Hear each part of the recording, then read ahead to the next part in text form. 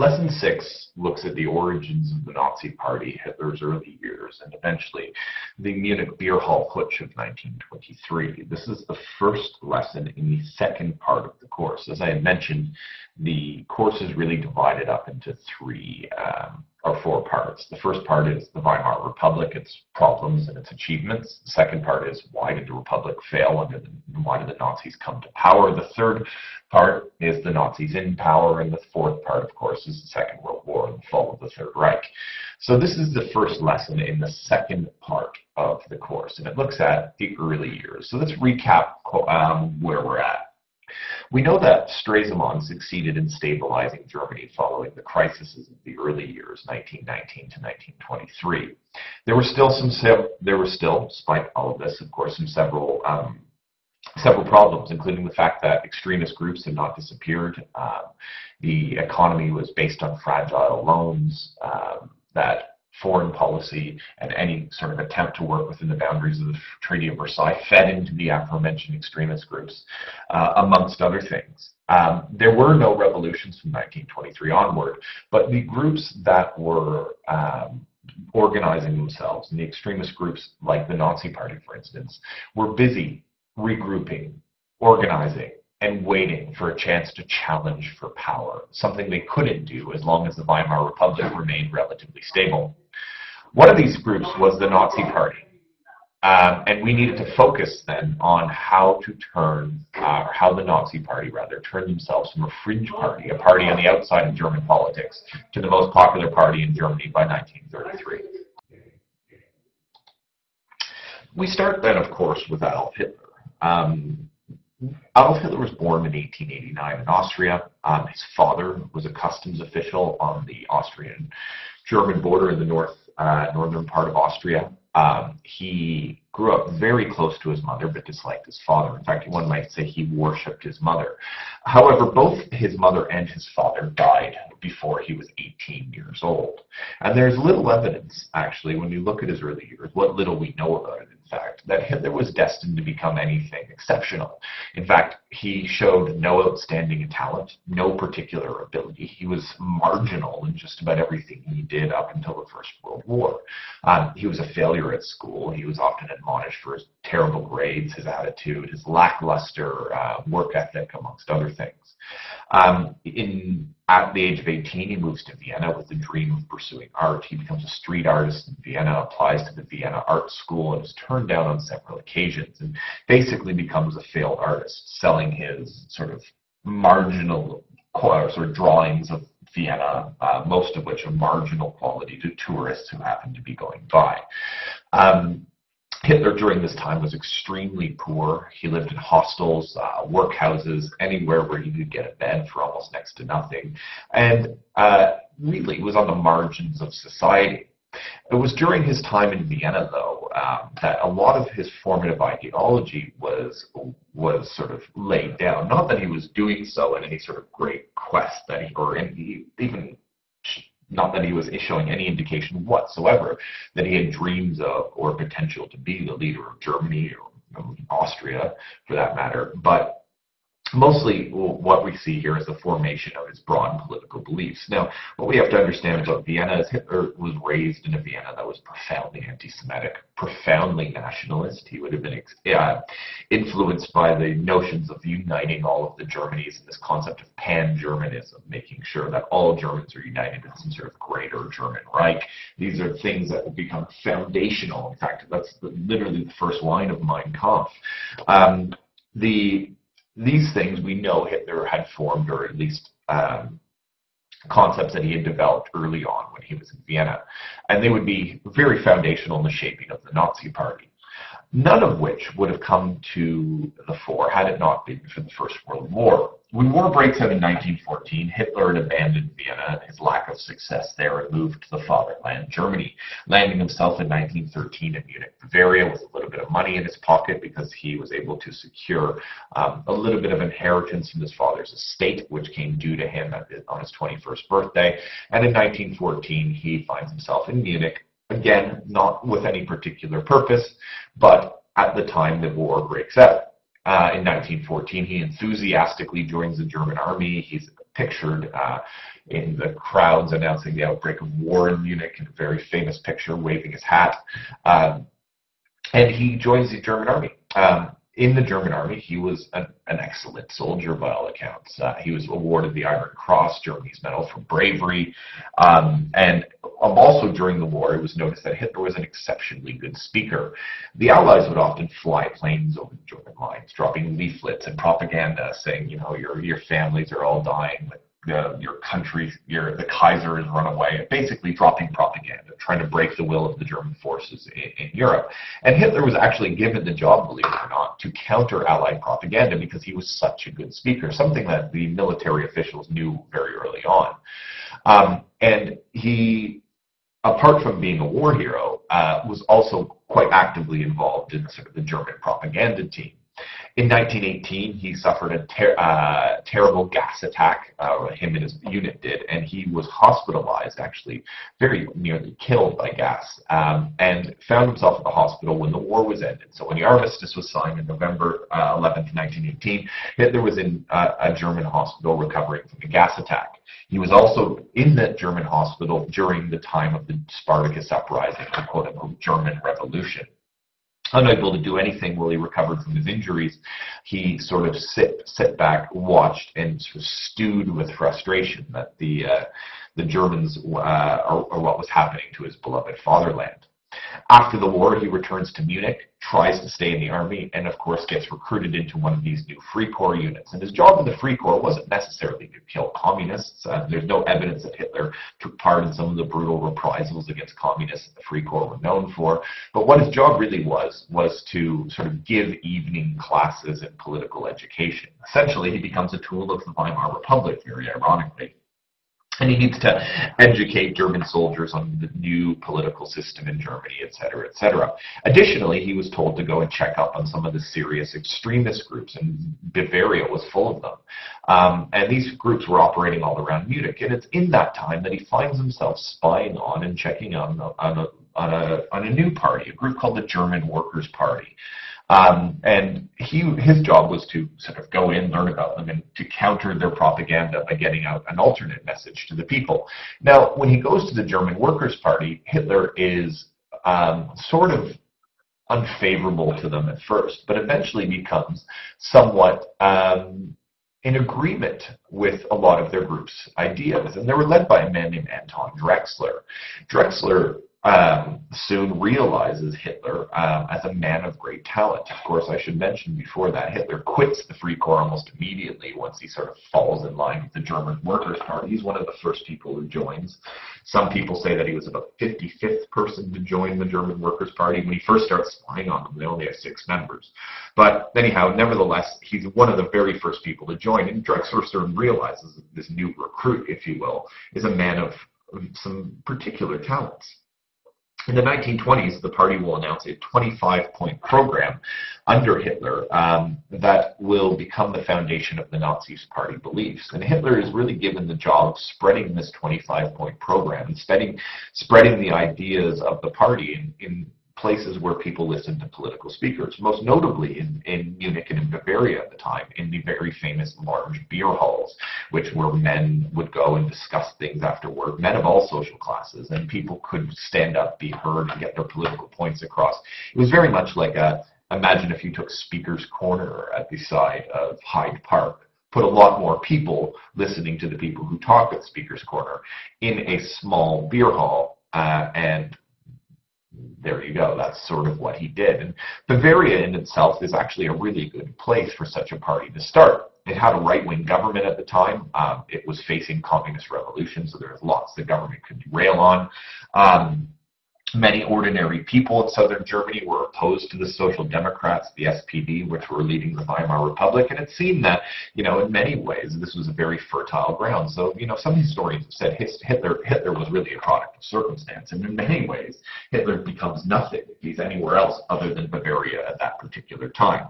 Now, I've posted the German 25-point program not going to read it to you. You can read it yourself. This gives you an idea of their broad beliefs. And they're relatively consistent from this point on and forward.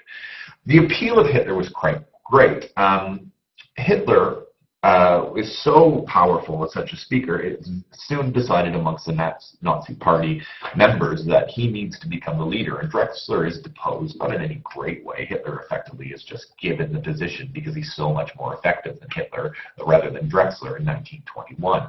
Hitler had the energy, commitment, um, he was a powerful speaker, and he attracted a lot of attention. His clear, simple appeal stirred nationalist passions in his audience. Hitler wasn't saying anything new.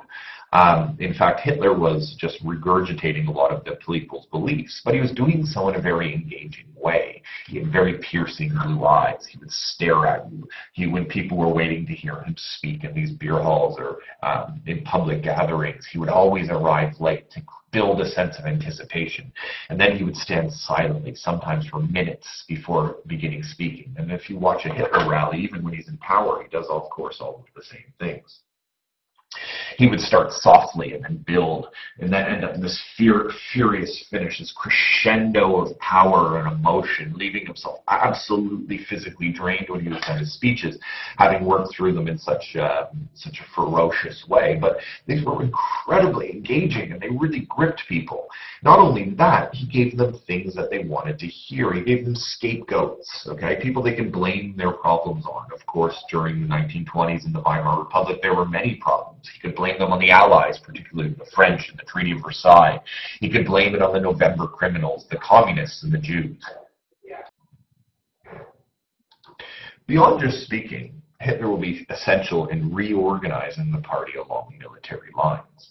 In fact, Hitler becomes so successful, in fact, that many of his political opponents start to fear him, and they start to try and break up his meetings using sort of thug groups or paramilitary groups. And the communists, for instance, who try to break up a Hitler meeting by using what they called the Red Front fighters, which was their sort of hmm, bodyguard slash paramilitary organizational unit. This is something relatively unique about German politics at the time. Um, it's really actually also a consequence of the First World War, this sort of sense of militaristic order and violence being added to the political spectrum. But let's not get into that in too, too much detail. What you basically need to know is that Hitler decides then that very early on that he's going to organize the Nazi Party along the lines of the military. Having had lots of experience in the military in the First World War, he saw that as the best and most effective structure for a political party. So in 1921, he sets up his own private army. He calls them the SA. I'm not going to pronounce the German pronunciation of that or even attempt it. I'm just going to say that the SA loosely translates to the stormtroopers. These are made up of mostly young men most of these young men were former members of the Free Corps. They dressed in brown shirts and were known, therefore, as the brown shirts. So when you talk about the Nazi Party, a lot of people just refer to them as the brown shirts. Interesting tidbit, interesting side fact. The reason they had brown shirts is the Nazi Party didn't have a lot of money, and the German colonial soldiers, okay, back when German uh, Germany had colonies before the First World War, wore desert brown uniforms. And of course, Germany had its colonies taken from it in the Treaty of Versailles. So in the army surplus stores and the sort of the government stores, there were all of these uniforms that the German army couldn't use anymore. Of course, the German army was minuscule and they had no colonies. So they sold them for the Nazis for a pittance and the Nazis then adopted the German colonial army uniforms, the brown ones that, of course, they had worn in the deserts of Africa when they were, in fact, a colonial power before the First World War. That's just really, I guess, a matter of coincidence, but anyhow, interestingly enough. Um, these guys protected Hitler's meetings, and in fact, they always, they actually go quite a bit beyond that, and they will stir up trouble themselves. Another thing Hitler will do is invent a logo for the Nazi Party, and he invents the swastika. Um, he personally designed the Nazi flag. The swastika wasn't a new symbol; it was adopted from uh, actually Hindu culture. And he chose the swastika symbol and the colors red, white, and black because they were the colors of the Germany's of Germany's flag under the Kaiser. The swastika had actually been used as a, a logo of some nationalist groups before the First World War, and as such, uh, it was sort of a natural merger merger of right-wing nationalist movements and uh, an attachment to the dream of an imperial Germany, just like the one that had been under the Kaiser, which of course was destroyed in the First World War. It quickly became the best political symbol in Germany, and um, best political symbol, best known political symbol in Germany. This all gives Hitler, let's just say, a false sense of self-confidence. The party is growing, his popularity is increasing, his paramilitary unit is uh, able to protect him and then turn away thugs and cause their own trouble at the time.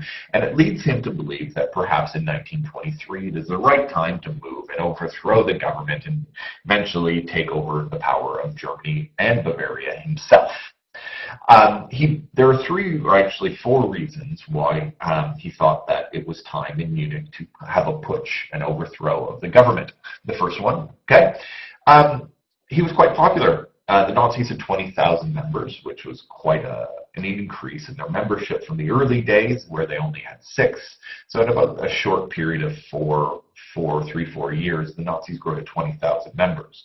Not only that, in 1923, the German government was completely unaware of what was going on in Bavaria, and it had to be. It was completely and utterly preoccupied with the economic crisis of hyperinflation. And as such, he thought that the German government wouldn't put much of a fight if he, in fact, then tried to overthrow it.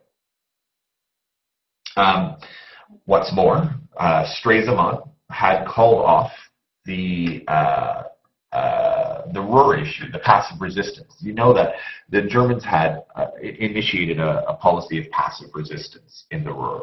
Uh, this effectively meant that um, they were not going to work with the, the forces of the Weimar, uh, sorry, of the occupying French.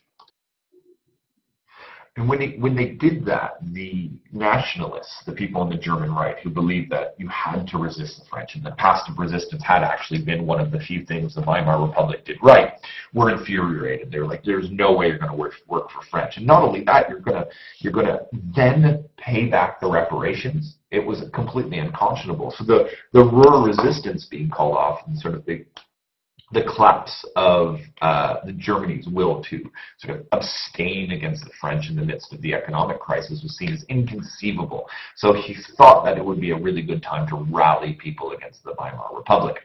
Additionally, additionally, um, what's actually an understated fact is that Hitler had the result, or rather the support of some very influential people in Germany. Um, he had, through you know not only the popularity of his speeches, et cetera, et cetera, made some very important and influential allies and friends, people who joined the Nazi Party and gave it legitimacy. He was joined by General Ludendorff. You may recall from talking about the First World War that the Germany had been run in the First World War by two generals, one named um, uh, General Paul von Hindenburg, who we know about. Uh, of course, he becomes president in 1925, and some people blame as quite responsible for the fall of the Weimar Republic. Um, the other one was General Erich Ludendorff. And Ludendorff joins the Nazis very early on and gives Hitler a lot of support and will take place and uh, sorry, actually fight with him in the, in the Munich Putsch. The other one is World War I flying ace, socialite, relatively famous person, um, Hermann Goering, who joins the Nazis very early on. Goering is able to connect Hitler to people of influence and give Hitler and Nazism sort of respectability that they were lacking as just a fringe beer hall party in Bavaria up to this time. So what we we see here is that things are started sort of in place. Hitler has a number of reasons to think that perhaps this is our time. So what happens? Um, 3,000 Nazi SA stormtroopers began taking over official buildings in Bavaria. The next day, after the sort of uh, initial shock of the beer hall putsch, the Weimar government forces hit back. The police will round up the stormtroopers. There'll be a brief exchange of gunfire. Uh, 16 Nazis will be killed. Three policemen will be killed. The rebellion is broken up quite easily. And in the chaos, Hitler actually escapes in a car while Ludendorff and the others stay to face the armed police. And this is um, uh, uh, and this is really the, the heart of the collapse of the beer hall putsch. Of course, when the, uh, many of the Nazis are killed, the rest of them just run away. Ludendorff's arrested. Hitler is eventually captured and arrested. And, and the beer hall putsch is relatively easily defeated. There are lots of reasons for the failure of the beer hall putsch. Um, the most important one, probably, is the fact that Hitler miscalculates the mood of the German people he believes he's sort of speaking for them and that they're going to listen to him and do what he thinks. And effectively, this miscalculation um, leads to him being completely unsupported Beer Putsch. Not only that, the German army didn't support the putsch either. He thought that with Ludendorff on his side, the army would be on his side, that he was the man who's speaking to the wants of the people in the army. And without the army who refused to support him, they don't support the government either, I should mention that. That's a really important point. They don't support either side. The army just wash their hands of it, stay out of it. But without their support, the Nazis aren't strong enough to fight the armed police of the Weimar Republic. So in the short term, the Munich putsch is an absolute disaster for him. Uh, the people don't rise up and support him. Him and other le uh, leading Nazis are arrested and charged with treason. However, he's able to sort of make lemon, uh, lemonade out of lemons here, and he gains enormous publicity for his new ideas. And uh, through his trial, which every word of it, which is published in the paper, he becomes um, basically more of a household name than he was before in Germany at this particular point. So the trial of 1924, our last point for this lesson, is important. Hitler is so impressive in his trial and his defense that the judges and um, uh, and let him and his accomplices off very, very lightly. Ludendorff is let off altogether. Hitler is only given five years for being the mastermind of revolution when it should have carried a life sentence and very, at the very least probably led to his hanging of that life sent or sort of life sentence, of that five-year sentence he receives, he only serves nine months. He serves that nine months in the relative comfort of Landsberg Castle, where he's allowed visitors to come and go, et cetera, et cetera. It's basically like a, a clubhouse for the Nazis when he's in prison. Other leading Nazis are given short sentences. Uh, Röhm, who will lead, was the leader of the SA, will become one of Hitler's chief lieutenants through the early years and someone who Hitler actually has killed in 1934. Um, but nevertheless, he's given uh, a 15-month sentence, but it's commuted and he serves absolutely no time. The light degree of their sentences is very significant. It shows that you know there is some sympathy for Hitler and his political ideas amongst the people in the uh, political system of Germany. Um, his links with Ludendorff also help him gain the attention of important figures in the army, and actually is probably the reason the army stays out of the beer hall putsch altogether. Additionally, okay, um, though the years after the putsch were difficult, Hitler did emerge as a much stronger figure, a national figure. And of course, he'll use his time in Landsberg prison, amongst other things, to go um, write his memoirs, his book Mein Kampf, which will sort of outline his political philosophy and become one of the great legacies of the Beer Hall Putsch.